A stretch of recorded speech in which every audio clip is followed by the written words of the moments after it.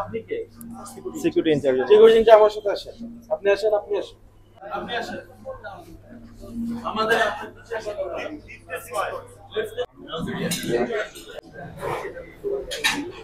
রাজধানীর পল্টন এলাকার first hotel and resort নামের একটি প্রতিষ্ঠানে বাংলাদেশ নিরাপদ খাদ্য কর্তৃপক্ষের একটি মোবাইল কোড পরিচালিত হচ্ছে। আপনারা দেখতে পাচ্ছেন এই মোবাইল কোডটাতে আমরা যুক্ত হয়েছি।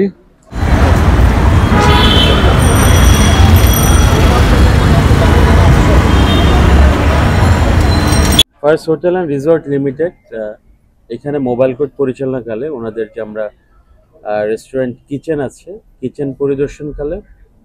এখানে রান্না করা গত কয়েকদিন আগে রান্না করা গরুর মাংস, খাসির মাংস এবং অন্যান্য আইটেম এগুলা এক মাসের মেয়াদ দিয়ে রাখা হয়েছে ডিপ ফ্রিজ করে। অথচ রান্না করা খাবার আপনি কিন্তু পুনরায় দুই তিন দিন, চার দিন, এক মাস মেয়াদ দিয়ে কখনোই রাখতে পারবেন না। এখানে এটি একটি অপরাধ পাওয়া গেছে। মূলত এটিই হলো এখানে এবং আমাদের ওনাদের যে ফ্রিজ আছে ফ্রিজও কিছুটা অস্বাস্থ্যকর। এই অপরাধেই, অর্থাৎ কয়েকদিন পূর্বের রান্না করা মাংস, বিভিন্ন ধরনের মাংস এবং অন্যান্য আইটেম অস্বাস্থ্যকর অবস্থায় যিনি সংরক্ষণ করেছেন, এটি মানব স্বাস্থ্যের জন্য অত্যন্ত ঝুঁকিপূর্ণ। এই ঝুঁকিপূর্ণ যা নিরাপদ খাদ্য আইন দু হাজার তেরো এর তেত্রিশ ধারা অনুসারে শাস্তিযোগ্য অপরাধ। সে অপরাধে ওনাদের দোষ স্বীকারোক্তির ভিত্তিতে এই প্রতিষ্ঠানের ম্যানেজ জিএম প্রধান দায়িত্বপ্রাপ্ত ব্যক্তি এবং শেফ, ওনাদের দোষ স্বীকারোক্তির ভিত্তিতে এই আদালত ওনাকে তিন লক্ষ টাকা অর্থদণ্ড প্রদান করেছে অনাদায়ে এক মাসের বিনাশ্রম কারাদণ্ড। এটি হচ্ছে আজকের এখানে মোবাইল এই আপনি যে কথা বললেন যে দীর্ঘদিন মানে ফ্রিজে রেখে যে খাবারগুলো খাওয়াচ্ছে নিশ্চয়ই এগুলো মানব স্বাস্থ্যের জন্য খুবই ঝুঁকিপূর্ণ। যেই আদেশ আপনি দিয়েছেন এইটা কি একজন মানুষের স্বাস্থ্য ঝুঁকির তুলনায় অনেকটা কম হয়ে গেল? না ধন্যবাদ। এইখানে আমাদের যে দায়িত্বপ্রাপ্ত কর্মকর্তা আছেন জিএম অত্র রেস্টুরেন্ট ওনারা কিন্তু বলেছেন আদালতকে এটিও ওনারা বলেছেন যে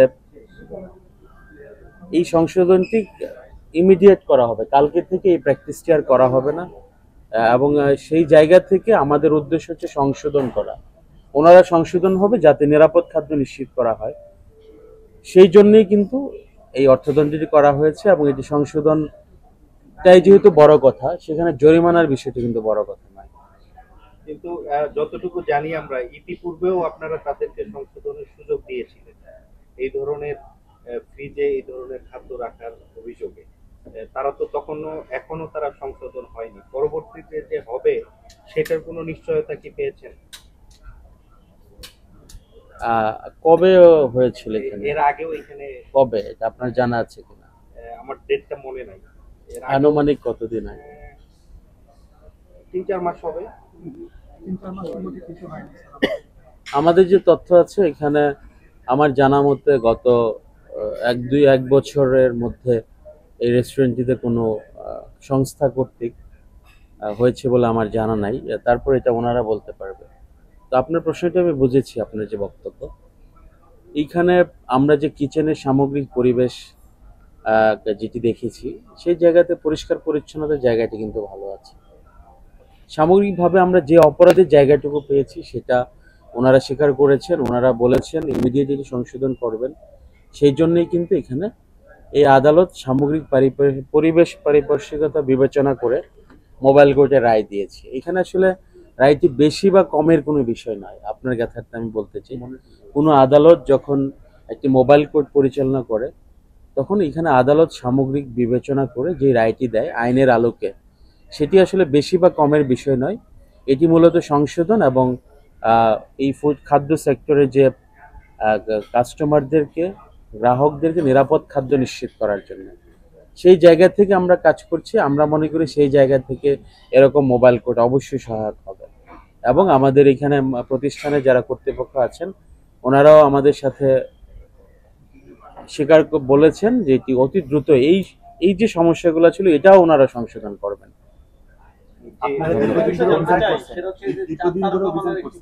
ইম্প্যাক্টগুলো কি পাচ্ছেন আসলে? এই আপনি করে বলুন তার তারকা মানের একটু প্রোডাক্ট এই হোটেলে কীভাবে খাবার রান্না করে ফ্রিজিং রেখে এই জরিমানা আওতায় আনলে কি তারা সুযোগ ওনার সাথে আমি আরেকটা সংযুক্ত বলতে সেটা হচ্ছে চার তারকা চার তারকা মানে হোটেলের যে ক্রাইটেরিয়া আপনি যে পর্যবেক্ষণ করেছেন এবং দেখেছেন সেটা তারা সেই ক্রাইটেরিয়া আসলে বাস্তবিক অর্থে এটা পূরণ করে কিনা এবং এই যে যে উনি বলছিলেন যে তেলা পোকারও শুনতে পাওয়া গেছে এবং আমার সামনে শুনতে যাচ্ছে সেই বিষয়টা না এখানে ব্যত্যয় আছে দেখে এখানে একটি জরিমানা করা হয়েছে। এটি নিঃসন্দেহে আপনারা দেখেছেন। এখানে কিছু ব্যত্যয় আছে। এই ব্যত্যয়ের জায়গা থেকে জরিমানা করা হয়েছে। কিন্তু যে প্রশ্নটি করা হয়েছে যেটা ইম্প্যাক্ট আছে কিনা? অবশ্যই অনেক ইম্প্যাক্ট আছে। কারণ হচ্ছে, মানুষ সচেতন হচ্ছে। আর মোবাইল কোর্টের উদ্দেশ্যটি শুধু জরিমানা নয়। এটি সচেতনতার মাধ্যমে ওনাদেরকে সতর্ক করা অ্যাট দ্য সেম টাইম সচেতন করা অ্যাট দ্য সেম টাইম সতর্ক করা। আমাদের কিন্তু দুটি কার্যক্রমই চলমান। আপনারা জানেন বাংলাদেশ নিরাপদ খাদ্য কর্তৃপক্ষ সহ যত সংস্থা রাষ্ট্রের এই নিরাপদ খাদ্য নিশ্চিতে কাজ করছে, তাদের কিন্তু সচেতনামূলক কার্যক্রম যেমন আছে, সতর্কতামূলক কার্যক্রম এবং এনফোর্সমেন্ট কার্যক্রম রয়েছে। সেই জায়গা থেকে কিন্তু আমরা দুটিই করছি। শুধু জরিমানায় কিন্তু উদ্দেশ্য নেই তাদেরকে সতর্ক করছে, তারা আমাদেরকে সংশোধন করবেন মর্মে মুচলেখা দিয়েছেন কমিটমেন্ট দিয়েছেন এবং সেই সংশোধনটি হচ্ছেও। আর আরেকটি প্রশ্ন এসেছে চার তারকা মানের হোটেলের ক্ষেত্রে যে ধরনের ক্রাইটেরিয়া থাকার কথা। আমরা শুধু এখানে তাদের কিচেনের জায়গাতে আমরা পরিদর্শন করেছি। এখানে আপনি জানেন এখানে একটা হোটেল পার্ট আছে এবং রেস্টুরেন্ট পার্ট আছে। আমরা শুধু রেস্টুরেন্ট পার্টটি দেখেছি। আসলে আমরা হোটেল পার্টে যেহেতু ভিজিট করার এখতিয়ার নাই আমরা ওই বিষয়ে আসলে নো কমেন্টস জি মাননীয় আদালত ধন্যবাদ। আপনার অনুমতি সাপেক্ষে আমরা একটু জিএম সাহেবের সাথে কথা বলতে চাই। যে উনি যদি কথা বলতে চাই তা আমাদের কোনো অসুবিধা নেই।